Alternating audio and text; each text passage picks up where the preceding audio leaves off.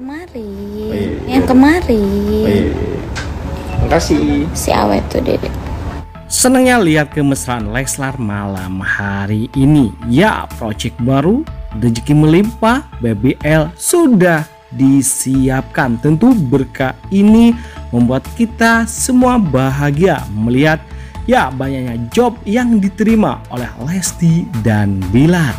Ya, rezeki anak soleh, anak baik tentunya guys. Ya bagaimana? Lihatlah kekiutan mereka lengkapnya ini dia. Buatlah cita-cita menjadi nyata Raih Semua jadi dunia Semua Jadilah bintang Dede bahagia banget. Abis ngapain? Habisnya itulah pokoknya. Bahagia banget. Abis ngapain? Habisnya itulah pokoknya